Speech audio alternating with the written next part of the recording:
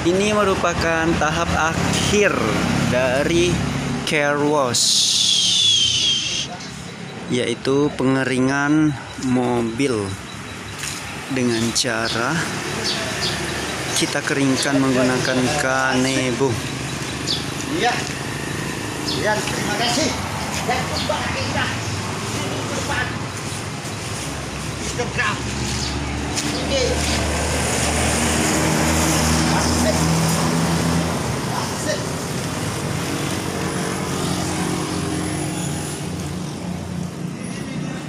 Dan karpet-karpet mobilnya kita jemur seperti ini ya.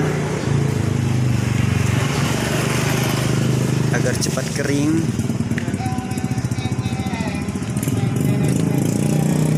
Tepat di bawah sinar matahari. Mataharinya.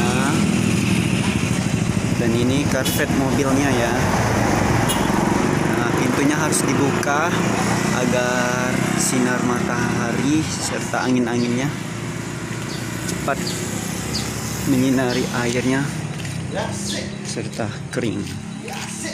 Terima kasih sampai berjumpa kembali di channel Amir Fox.